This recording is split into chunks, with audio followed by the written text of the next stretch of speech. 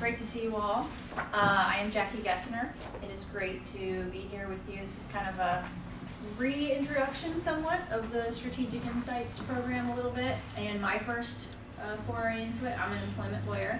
I work with Gutwein Law, which is just around the corner across the street, um, but I hail from our Indianapolis office. So um, a lot of what I do is help employers navigate all the laws that apply to them when it comes to their relationship with their employees.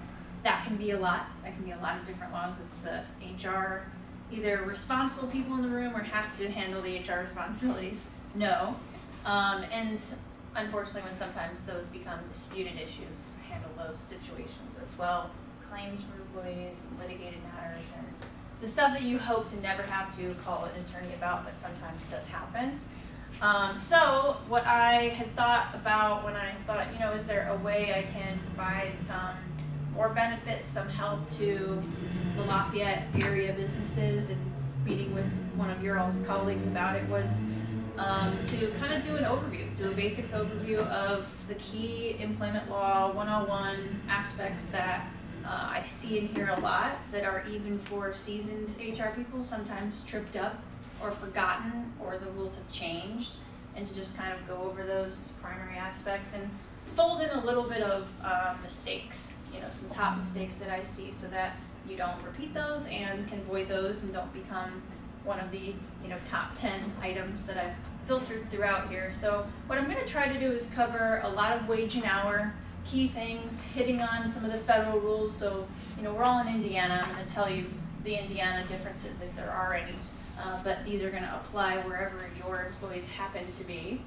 And um, some of the unique stuff that's overlooked, the youth labor restrictions, we'll cover those. We'll talk about tips, which there's um, a handful of several key rules that apply to employees' tips, but failing to know one of those, again, can be that thing you have to call me on, so that's never fun. Um, well, come on, feel free to filter in.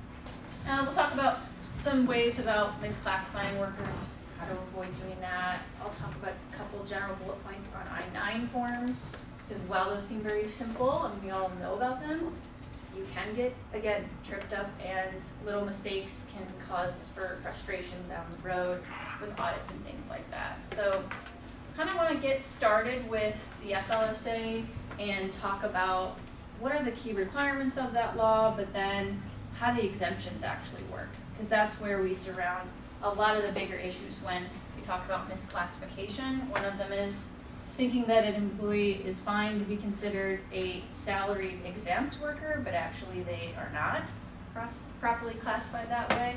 And so uh, working through ways to understand how do we actually know when I'm classifying an employee correctly or not. So while the FLSA is lengthy, it's got a ton of regulations, I could never stand up here for an hour and tell you all of them, it primarily requires two things. For your non-exempt workers, those of the hourly, manual labor, blue collar workers who are not exempt, which we'll talk about what that means, they have to be paid at least minimum wage, which is $7.25 an hour, and they have to be paid overtime, which is time and a half of their regular rate for any hours that are over 40 in a work week. Employers can set what that work week is, it just has to be a consecutive seven day period, so you can call it Monday, you know, at 11 a.m. through Sunday at 10, whatever the related hour would be, you can set that work week, it just has to be that consecutive seven day period. And then anytime that employee works over 40 hours during that work week, whether you told them not to or not, they still got to be paid that time and a half. So FLSA is extremely broad. I don't even think we need to bother covering whether or not your business is properly covered because almost every business is. That was intended to be the case. You know, that's why they wrote that law that way to protect what at the time was the language they used was blue collar workers. You know, our language around that's kind of changed, but I use it because that's the way the law is written. It talks about blue and white collar workers, and we actually define the exemptions as the white collar exemptions.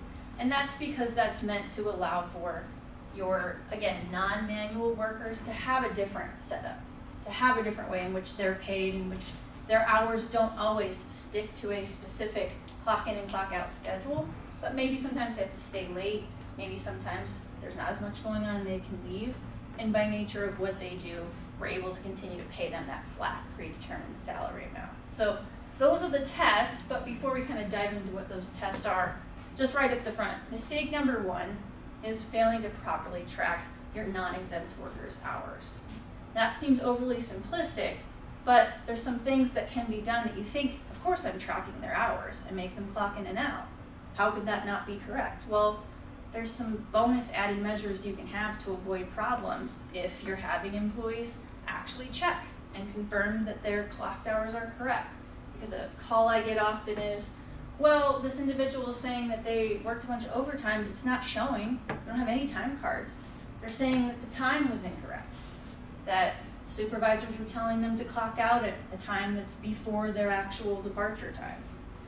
Or there was something where they had to be called in and failed to clock in or forgot and didn't say anything. So these kind of measures of having just a policy or a requirement or just a practice where you say, hey, check your hours at the end of each week or at the end of the pay period. Verify they're correct, and if not, let me know, and I will go make that change. And we've avoided a mistake before it's even happened. The other thing is, as you continue to grow, having a timekeeping policy is hugely beneficial that says those things and that tells the employees up front, you need to check your time cards. And we're going to send them to you this way, or you can log into the system by using your normal payroll login and make sure everything's correct. And do that every Friday or whenever that day might roll that you want to have them verify and check that those are correct. Um, another good thing to put in a policy like that is to require that employees actually have permission before they work overtime. Because another thing where if you're starting out, you're growing your business, you're adding workers, and all of a sudden people are working really hard, hitting that 40 hour mark, going a little bit over it, and you're not realizing, well, I've scheduled you to not be working overtime, so I didn't realize payroll screwed up and we weren't issuing that time and a half. How do I avoid that from happening? We're having a policy and letting folks know, don't work more than 40 hours unless you've got permission or we've asked you to, and if it's coming up to that, you should be letting your supervisor know. Because there's something going on with the schedule, something going on with the workload that we gotta get figured out so that you're not being commanded to work more than you otherwise should have to. So that's sort of our first, you know, mistake or just something that's an oversight is failing to track those hours properly. I'm not saying that you're not having people clock in and out, but you're actually paying attention and taking a double step to check to make sure those are accurate. So how do I know who are the employees who need to be paid overtime, right? Who are the properly exempt employees? And these are the white collar exemptions. There's three things that you have to have for an employee to be an exempt. An exempt is not the same as saying salaried, although that's one of the three. But we kind of have to separate that distinction that we always sort of use salaried as interchangeable with exempt because it's really not. So just focusing on are they exempt? That means they don't need to be paid overtime. What is that? They have to be paid a minimum salary. That's currently 35000 and some change over the course of a yearly uh, salary. If they don't make that much, they cannot be exempt. That's just a flat barrier to entry. And that changed two years ago. It used to be lower, and they bumped it up almost about $10,000 different. It was around 23, I guess a little bit over 10,000. 23 and some change, now it's 35 and some change. If you follow any of this news like I do, they're rumoring that they're going to make a change soon. So people don't know what that change would be because there's no proposal out there, but they're speculating that could be another bump in that minimum salary now. That's probably correct because we have a administration that focuses on workers, wants to expand their protections, and 35,000 a year is not very much money. So um, that's sort of the first barrier to entry. Second requirement is that they have to have a salaried pay. And salaried means something unique under the FLSA. It doesn't just mean, well, we pay them a salary. Okay, but do you do it in the way the FLSA says you have to do it? You can't just be making lots of changes to their weekly paycheck. You can only make deductions for certain things. And that's because they're meant to be treated as somebody whose work fluctuates. Well, if I work late on Monday because we had an event, and I left early on Friday because it wasn't as busy, you don't get to deduct the time they left early on Friday if they're properly salaried. Salaried means a predetermined amount that doesn't fluctuate based on the amount of work that's required. There's some permissible deductions, right? If they're gone for an entire day, don't perform any work at all. If they're not there for an entire week, you can of course deduct for that weekly pay difference. If they're out on leave, you know, it's approved FMLA, medical leave, things like that. But there are specific listed out deductions that are permissible, and you can only make those changes to a salaried exempt worker's pay. Um, the third area, so what else? I have to have a minimum salary, I have to be paid on a true salary basis. I also have to have a type of job that fits within the ones that the FLSA, FLSA says are properly treated as exempt. And that's where the white collar exemptions word comes in, because these are the duties that exist that, you know, Congress at one point in time when they drafted this law said, okay, how do we separate out non-manual labor that you don't have to pay overtime for? Well, these are the duties. So I'm not going to go through each one, but I will walk through the two probably most common, most likely to appear in your workforce types of duties that can be exempt. And that's the executive or managerial, sometimes referred to, and the administrative exemption. And this covers a lot of different types of workers. So the first one is we're talking about your managers. And these have to be people who actually manage, so you know, day to day, their duties do require the actual management of other employees. Has to be at least two other people that they manage.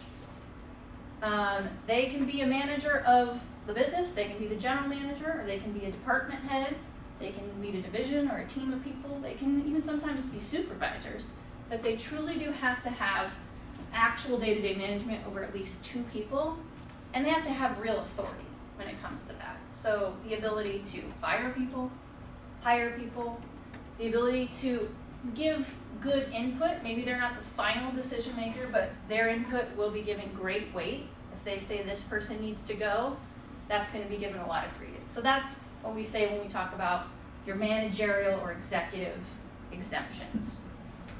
The other one is the tricky one that I will tell you gets litigated a lot more is the administrative because this is where our assumptions kind of come in well, that's the type of job that's exempt, right? It's not manual work, it's non-manual office work. I work in an area of the business that's supporting the operations or the management of the business, right? I'm not making the widgets, but I work in the finance department, the HR department, or I run the books, or I'm in charge of general operations, anything that's part of running the business. But the kicker, and the thing that trips a lot of employers up, is you gotta have discretion to make key decisions. You can't just be somebody who is told what to do a day in, and day out, and just follows a preset standard on how to do things.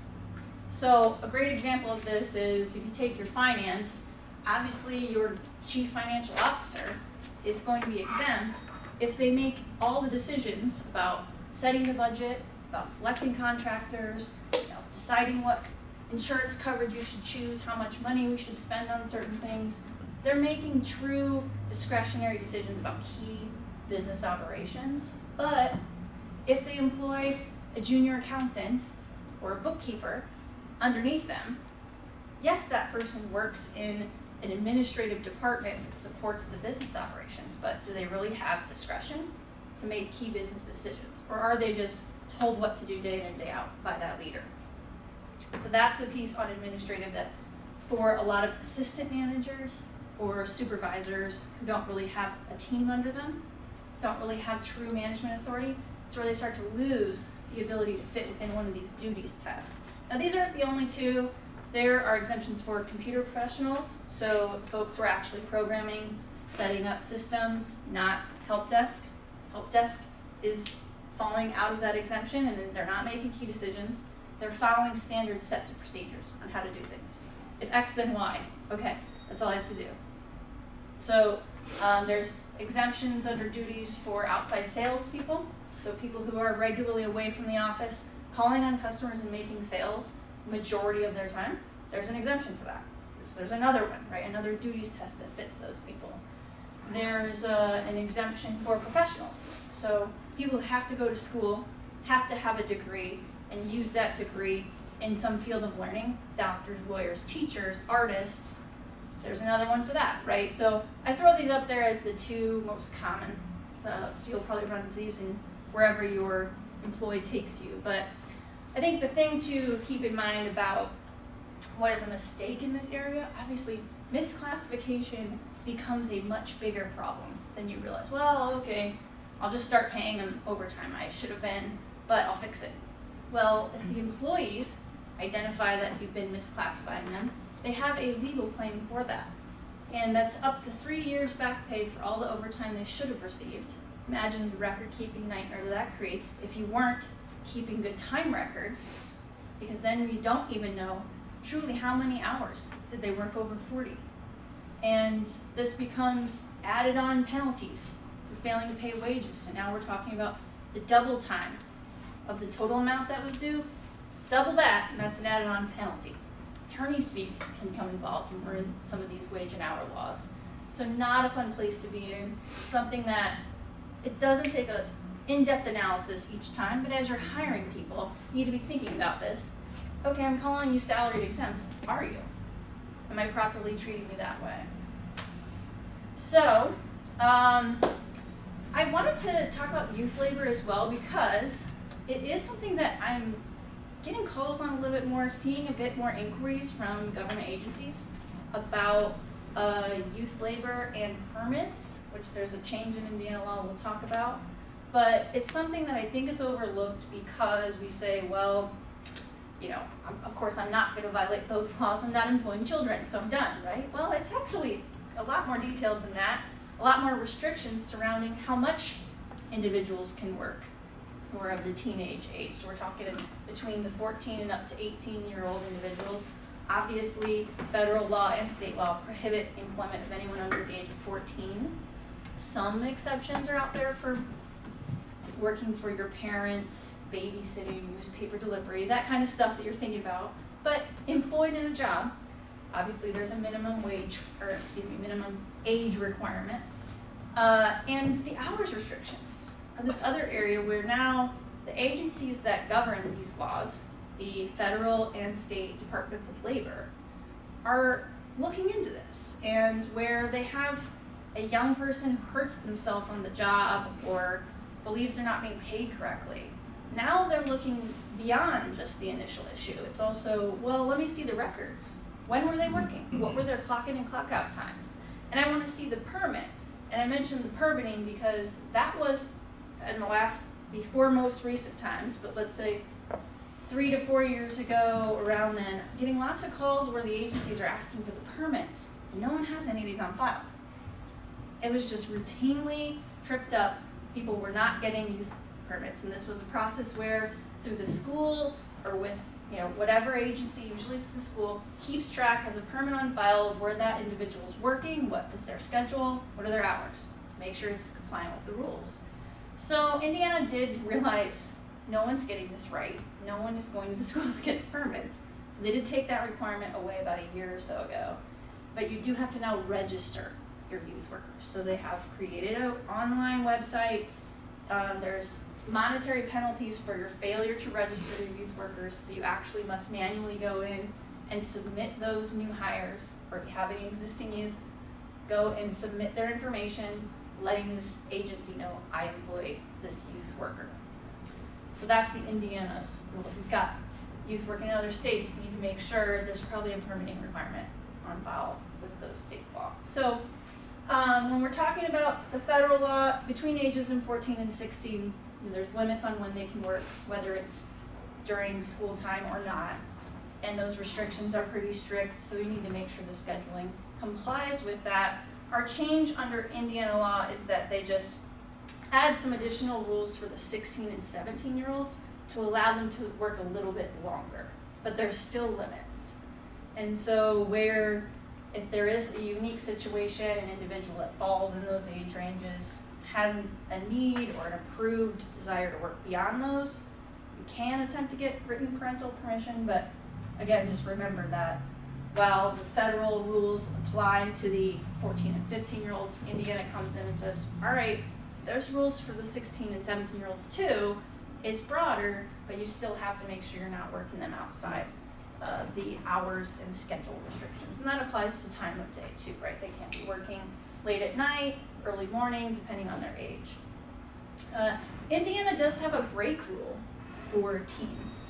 So there actually is no state law requiring you to give your employees certain types of breaks in terms of number or length, but for teens, you, you must. For six hours or more in a scheduled uh, you know, shift, they have to be given at least 30 minutes over one or two breaks. You can get one 30 minute break or two split however you choose, but that is the requirement to get breaks for your teen workers. Um, so where do empl employers trip this up again? It's failing to, be, before times, register the youth workers uh, or get, excuse me, get a permit, but now it's failing to register those workers. So those are going to be immediate monetary fines for each failure to register. So tips. Uh, this is one that it just, I, I don't think will ever go away in terms of questions I get from clients. It can be complicated. There can be things that I think my clients believe they're doing correctly because it seems fair or right, but it just, when it comes to wage and hour rules, things are just black and white. You either get it right or wrong. And even if you thought, oh, I didn't know that was the rule, I didn't mean to, you know, how can I be liable for all this thousands of dollars in back pay and damages? Ah, there's just no intent exception. You know, it's it's black and white. Either we got it correct or we didn't, and we're liable when we don't. So tips are wages. It's sort of the most easy thing to remember is, well, I have to make sure my employees receive their wages owed. And when it comes to tips for your tipped workers, those tips are their wages. So employers cannot withhold tips from their employees, ever. Those tips that are, you know, for a service provided for a tipped employee, that is part of their wages. So, well, but what if I use the, you know, tips to buy stuff for my employees? No, it's their wages. We're taking their money, right? Even if you give them, you know, Friday lunches and use the tip money for that, or buy them you know, Christmas presents or whatever. Violation of the FLSA. You cannot withhold the individual employee's tips.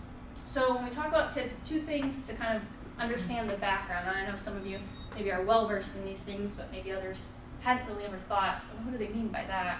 Tip credits. And when we're talking about tipped workers, we mean those who regularly receive at least $20 a month in tips. That's sort of the barrier to entry to be able to use any of these rules. And we're also talking about the times when they're doing tipped work, right? So they're getting tips, they're waiting tables, or they're working with customers, receiving tips. If they're doing other things, but they're on the shift to just clean up or do inventory, that's not tipped work. So these rules don't apply to that. It kicks into the regular standard rules of minimum wage, and overtime always applies. But so, but when we've got tipped employees doing tipped work, there's a way to take a tip credit, there's a lot of rules that go into that, that but uh, tip credit is essentially I can pay the tip credit rate, the lower rate of 213 an hour, and I get to take a credit towards the difference between 725 and 213 for the for the actual tips they receive. So if the individual employee is receiving at least the difference, then you don't need to pay them more than the 213 an hour. That's taking a credit towards that minimum wage requirement they're still entitled to get 725 an hour. But with the cash tip that we cash wage that we pay them plus the tips they receive, if that equals 725 an hour, we've satisfied the obligation. So that's that requires tracking and record keeping, right? Because if they aren't making any tips that day, we still have to make sure that they're receiving minimum wage. So that's what we mean when we say tip credit. Credit towards the difference of being paid 725 an hour. Tip pools then are, well, what if we set up an arrangement whereby the tips are put into some sort of shared pot and then divvied up from those employees? Okay, well, there's rules surrounding that, and that's what we call tip pools or tip splitting. Uh, the first instance of that, and it's not necessarily in this order, but I'll probably give you the most important one where employers really do trip this up. Owners, managers, and supervisors can't get a cut of a tip pool, ever that will completely screw up and require all the individuals who didn't receive the total allocation they would have, they get a, a valid wage claim. And now we're dealing again with that back pay and those penalties we talked about before. So, oh, but what, if the supervisor waits tables? Are they a true supervisor? Meaning they supervise others, tell them what to do, have some input on discipline, hiring, they get to weigh in on interviews and things like that. Can't have a cut. We've ch changed them from, you know, a basic entry level worker, given them some supervisory responsibility. They cannot participate in that tip pool. Um, so tip credits, you know, we talked about those, and I mentioned uh, I, got, I don't have time to tell you all the ways in which you can have a valid tip credit, but know that that has to be an advanced arrangement with that employee where they have notice of exactly how that tip credit system is going to work. There's a lot of standard things you got to tell them. You got to tell them you're applying a tip credit. You've got to tell them how that tip credit is going to work. You've got to tell them if you're doing a tip pool associated with taking a tip credit. And so just know if you're not having any advanced communication with those tipped workers about a tip credit and how it works, you need to immediately stop, evaluate, and prepare some sort of notification to those employees about how that works. Now, I didn't want to go off the rails and tell you what all those requirements are, but know that that is a requirement. So, uh, what about in terms of tip pooling and where we don't have a tip credit? So in some circumstances, the rule used to be that only the tipped employees can have a share of the tip pool, right? Does that make sense? If they're doing the work, they're getting the tips. And that was true, except they changed this a couple years ago to say, well, if everyone's getting the 725, meaning we don't take any tip credits, the tip pool is just kind of an on-top add-on, you can include the non-tipped employees. Not supervisors, managers, or owners, but everyone else that's supporting those people, right? And that's fair too, because we're talking about the people in the back, the kitchen staff, the cleaners, the people who are doing the work that we believe that they should be allowed to share in the tip pool. If you're not taking a tip credit, that's now permissible. But again, never supervisors and managers. Um, you've got to redistribute those tips. If you're the employer, you know, managing the tip pool, which you should be, uh, you've got to redistribute those within the pay period. So if you've got also credit card transactions going on and some of the tips are applied to that. And you're thinking, well, I'll just wait until we get reimbursed. We actually have the cash in from running all those credit card transactions. If that puts you outside the pay period, you're violating the FLSA. So these employees, again, tips are wages. Wages got to be paid within a certain time, and so these need to go on the next regular pay period. All record keeping applies. It's basically every touch of this tip process. So you need to have tipped employees, again, who get at least $20 a month in tips. They need to be reporting any cash tips that you don't otherwise have a way to track. They should be reporting that to you. This is routinely not done, especially in a lot of service industries. That creates a problem for your tax obligations, for their tax obligations, and uh, specifically, it's an IRS rule that says, well, the employees need to be reporting those amounts to you so you can factor that in in their income and properly record and report those tips. So I stressed it before, but another mistake that, again, employers often just don't know that this is the rule, but supervisors can't be in that tip. That's a big one that, and it's really a hard conversation with my clients, which is where, well, these, they're helping, they're sweeping the floor and they're bussing tables. Okay, but did you actually give them supervisory authority? And I can't I can't change the rule, it is what it is, you know, we've then got to fix that problem. And then failing to keep those records. Where these situations come up, maybe you didn't do anything wrong, but if we hadn't had records of how we properly were divvying up the tip pool and making sure everyone got their fair cut, how do I prove that? You know, you need to have, because the rules require you to have, maintained the records and keep them, but we've also then run bigger problems. If we want to be able to defend we did it right, those records need to be maintained and kept. So, it's kind of my overview of the tip rules, um, highlights about some of the most significant things. Um, we talked about classification earlier when it comes to the FLSA and exemptions. That word is applied also though to defining correctly who is our W-2 employee and who is a true contractor. Now, why is this such a big deal? Because it touches almost everything I do. Almost every protection that I get called to answer questions about for an employee, a true employee, only applies to those who are employees, right? So anti-discrimination laws and all the civil rights laws, all the wage and hour laws we talk about, um, tax requirements, obviously paying your payroll taxes and extending paid benefits to employees for employees who are full-time and entitled to your, all of your paid benefits. All of that only applies to your employees, right? You're not putting your contractors on your payroll and you're not giving them health insurance. But how do we know we've done that correctly? Well, this is a big problematic area that a number of government agencies get their fingers in because of, imagine all the ones I just listed off. IRS, EEOC, Department of Labor, they all realize, well, an employer, if they want to avoid our requirements, they just call them contractors. They're not employees, so they're outside the realm of these protections. But then each of those agencies decided, well, there's got to be a way, a test that we control this because there's violations happening here. And if these people otherwise should have been treated as employees and are just called a contractor, well then the protection should have applied. And let's go back and take a look back at things that should have been done differently. Um, it's very important to properly classify, and when we say this, we're talking about who are we designating as a contractor. And there's a ton of tests, I just mentioned there's a lot of agencies get their fingers in this, but to kind of summarize, what are the key things that all these different tests will look at? The most important thing is control.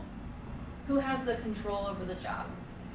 And that control reflects on the way the job is performed, where it's performed, when it's performed, what tools do I use to perform it, decisions do I make to complete my job. That control over all those things, if it's within the realm of the employer, I'll decide what your schedule is, when you have to come here, what you're going to do while you're doing the job, how you're going to do it, and all these other things that I want to have control over as the employer. Well, that's an employee. You've taken the control. If the individual has the right to say, well, I'll be there at this time, I'll get the work done by three months from now, and I'll never have to tell you or agree with you on how I get it done. All I have to tell you and promise you is I'll get it done.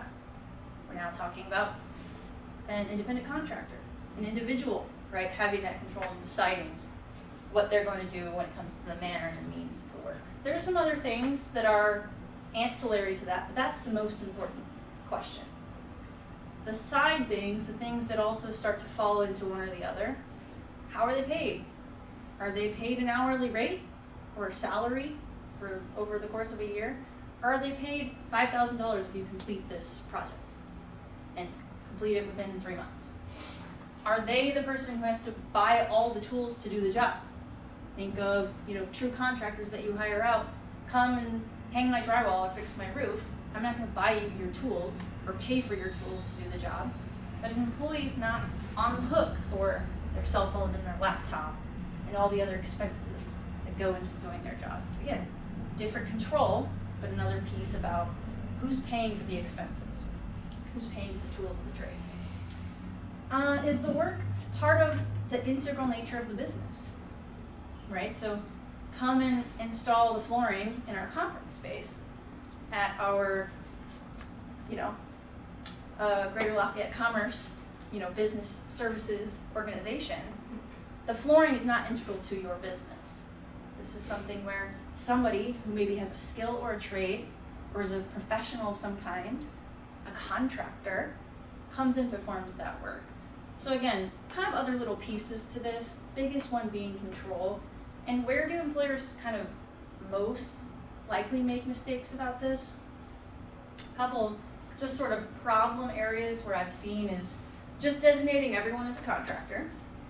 You know, just deciding when you're growing your new business or starting out realizing, oh, I can save a lot of money and avoid a lot of regulation and requirements if I just call everyone a contractor.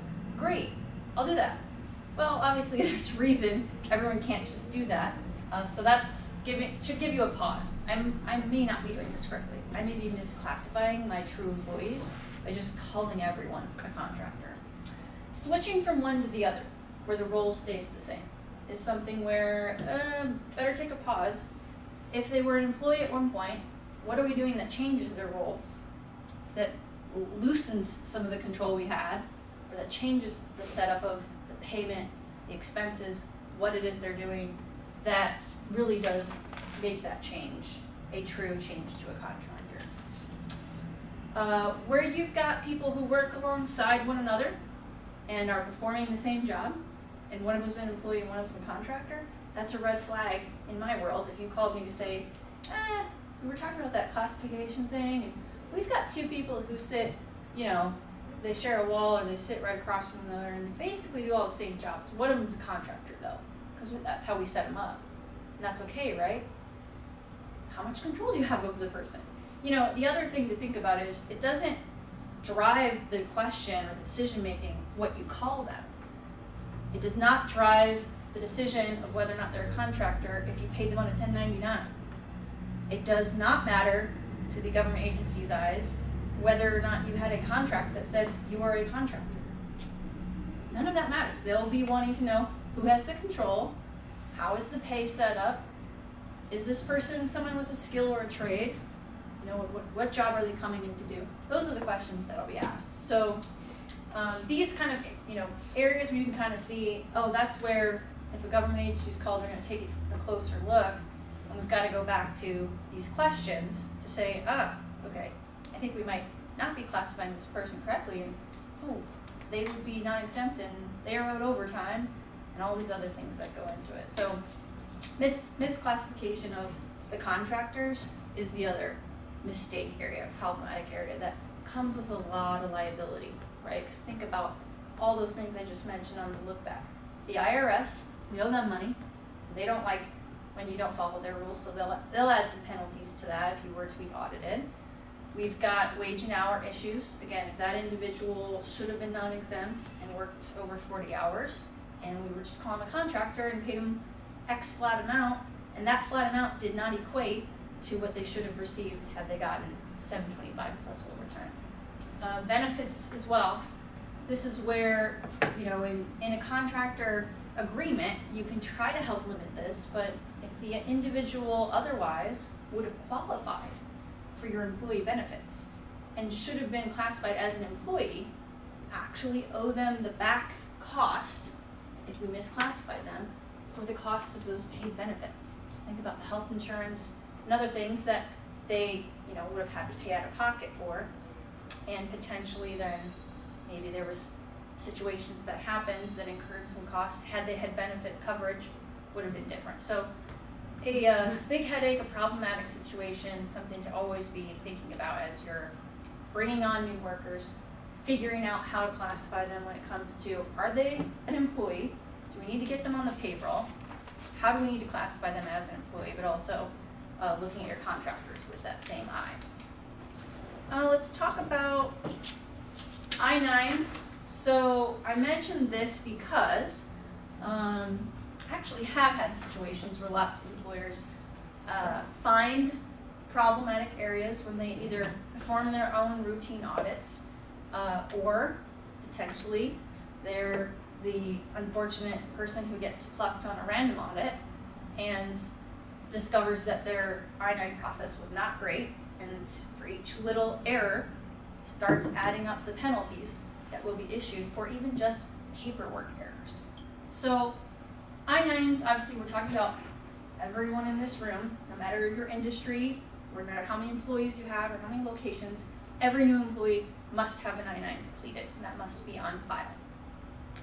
Um, the, the purpose of this, you know, this was around mid-80s, came along because people were worried about people working illegally, and included a lot of other things that go along with this. The point of the form is to verify that the person is eligible to work and that they are who they say they are based on those identifications they're providing.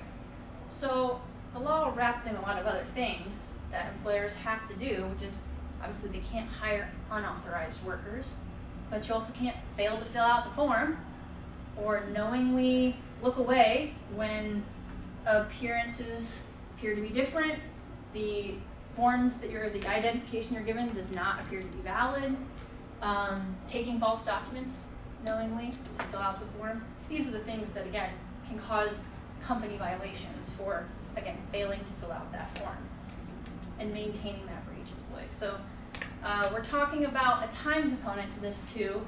While the form says this, sometimes my clients or if you're new to having to complete personal paperwork, you think, ah, maybe that's a suggestion, but time requirement will go into whether or not you properly fill out the form. The employee's part, section one, where they write down their information, right, and verify their eligibility to work, that's gotta be the first day that they work for you. First day of employment, right, so what's their hire date? They have to complete that section one first thing. Your job to complete the second part, where you've verified the documents and that they are who they say they are, within three business days of that day. So, if you were pulled for a random audit and or you did your own compliance audit to check and it appeared that the dates don't match, we have our authorized person signing two weeks later, ding, we didn't fill out the form correctly. And there's monetary penalties associated with just not doing the paperwork right. So these things, again, have to be done on a timely basis. Yeah, question, go for it. What if you do the self audit and you discover, oopsie poopsie, I missed a day? So we can certainly have the ability to make corrections because that's showing good faith. That's one of the things that the agency is going to look at. All right, well, if you notice that this happened on one occasion, we can make a correction. We can update the form, make a note, um, provided that you then also demonstrate, you look to see, is this a universal problem? Did we routinely just put these on a stack and have them signed two weeks later? You need to have realized it's not just a one-off and demonstrate your efforts to correct that practice. I would, if I was in that shoes, do an office memo to managers. Update on correct ways of filling out the I-9 form. Everyone should be aware if you're the person tasked with completing that form. And then save that memo, right? File that thing away as, oh, I found an error, and here's my good faith measures that I took to fix it. So um, copying the identification, everyone does this, and that's great best practice because then you are able to, when we find things are missing or not filled out correctly, we can then go back to that copy we made of that person's identification and make a, a correction. You don't legally have to make copies, but that's a really good compliance measure to have. So I do advise continue to do that, right? To maintain those copies of the IDs and keep them with the forms. Super, super helpful when you are doing your own compliance audit to be able to find a way to make a correction if you can. Um, I was under the impression from, from previous roles that you're not supposed to keep their identification copies. You can, there's no restriction that says you cannot. It's just that you aren't legally required to do it. So, you know, the Immigration Reform and Control Act says that nothing about maintaining a copy is required. Um, I would keep it with the I-9 forms though. So, what about retention? Obviously, we need these things. Where does someone come knocking and want a copy of them? Obviously, you need to have it for the entire time that person works there. And then there's a post-employment period kind of complicated, but it's essentially just that you either have maintained that for at least uh, three years after they're hired or a year after they left.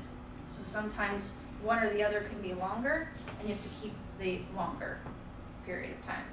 Just ensure these things are maintained throughout their employment and that you've got a strong record retention measure not to destroy post-employment records quickly upon separation of that individual there's a lot of other things that will go into that. So other mistake then, failing to retain these, right? Because you're gonna need these if you wanna do your own, let's check to make sure, or again, provided that you are subject to an audit, you've got it all ready to go and all your records were kept because like I said, these are monetary penalties.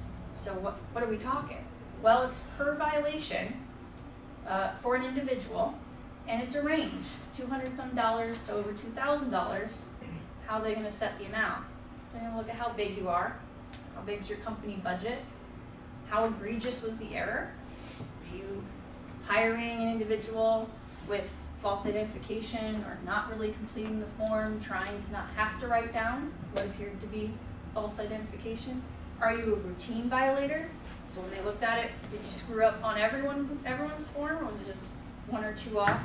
Those are the things that are gonna kind of weigh, how much are we gonna impose a penalty for? And good faith measures. That's the other thing, it's gonna help you bring down a penalty if you did make a mistake. Then the agency's gonna look at that and say, all right, well, we're not trying to put people out of business, we just need them to make sure they're complying with the law.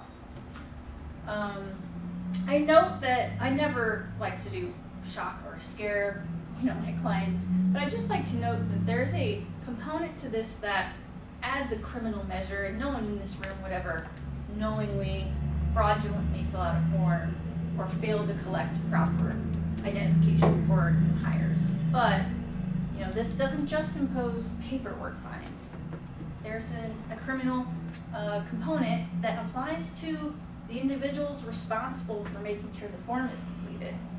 Again, if they're hiring people without, uh, knowingly checking those identifications, um, doing so knowing that the IDs are false, or, you know, things that impose greater, greater penalties when we're talking about those protections. So, I note this mistake is, um, not conducting your own compliance audits.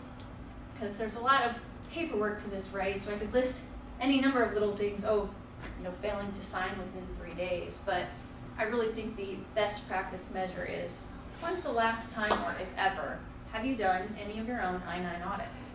And this doesn't need to be monthly, you know, this is a occasional sporadic, you know, maybe annual or less thing that you do, um, but allowing yourself to catch where there's an error, again, is you can, you ask the question, we can then demonstrate how did we correct? How do we ensure we're not repeating the error? And that can help in the long run. So I've got you for seven more minutes, which is perfect. Just enough time to kind of cover a little bit about non-competes. Um, you know, I thought about the mix of who would be here. You represent different industries and sizes, and maybe you run the business yourself, or maybe you're looking to hopefully hire a manager and shift some of that responsibility off.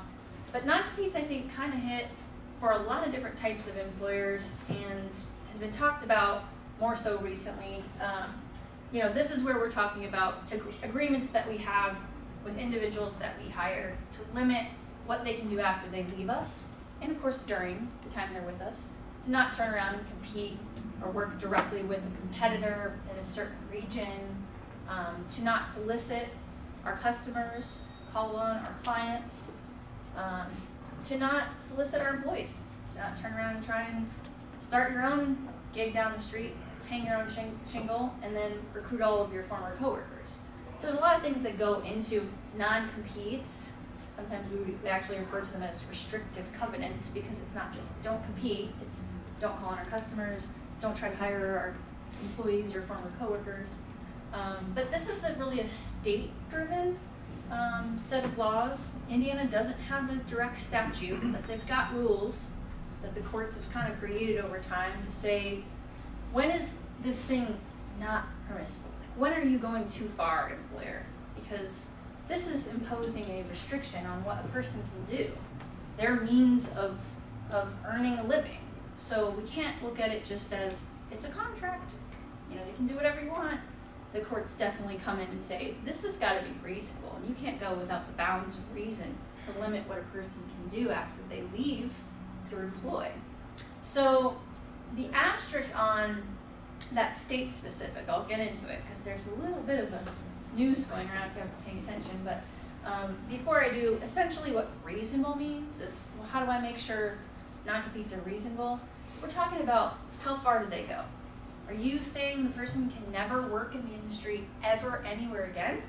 Probably too broad, right? You've got to have within the area where you had them working, or within the areas where the customers were, you had them working with, or you've got a time limit to this. You know, this thing's going to expire a year after you're gone, or two years after you're gone, and not five or ten years after. That's again looking at it as unreasonable because it's just too broad. So, well, I mentioned Indiana doesn't have a statute on this, and states are the ones that get their hands in this. So, depending on where you're employing the person, maybe a different set of rules. But more recently, this long ago mention of maybe we should get on this on the federal level. It was 2021 when it was first mentioned that hey, maybe we should get the FTC to make a rule about this and limit non-competes. And then that thing sat until uh, just a few months ago. Now they've proposed a rule to ban non-competes at the federal level. It's an actual proposal, so it starts the rulemaking process. Um, there's going to be a lot of debate surrounding it. Will that actually pass? What's your gambling bet on that? I mean, I'm skeptical that it will ever go through to the point of getting through a legal challenge, right? Where they'd actually pass a federal ban on non-competes. There's going to be so much challenge from the individual rights to contract, right? To enter into an agreement that you desire to and that both parties agree to. So it's going to be a lot of debate, but just know that that's kind of going on in the background. I'm not uh, holding my breath either. You know, it just sort of started that process. Federal rulemaking can become the extension of deadlines train, right? So again, that's just sort of something to keep in mind and know. But where the states get involved, and some examples of what that looks like. Uh, I know we're not in these places, but just to sort of let you know, the trend is going towards protecting low-wage workers. So some statutes actually say you cannot enter into a non-compete employer if your individual you're trying to restrict earns less than this much money. And that kind of makes sense, right? Somebody whose um, their trade is them performing the work that they do and they receive an hourly rate for it, or they're not somebody making the secret sauce or designing up your engineering, you know, drawings, and instead they're just, I need to be able to work in the area I live and do the trade that I've kind of learned. That's where a lot of these states are getting involved. They're also imposing in some instances a requirement that the employee gets advance notice and a guaranteed period of time to review that agreement before they must have to sign it. Not within the setting on day one, sign all this paperwork. So some states are actually saying, hey, you gotta give them this at least two weeks ahead of time. Send it with the offer letter, and you can't require that they do this faster. They should be able to get to review this. And I think this is interesting because, you know, I just throw up all these, this is the number of states that actually have said, we're gonna pass a law on this. We're gonna say what it means to have a reasonable non-compete in our state.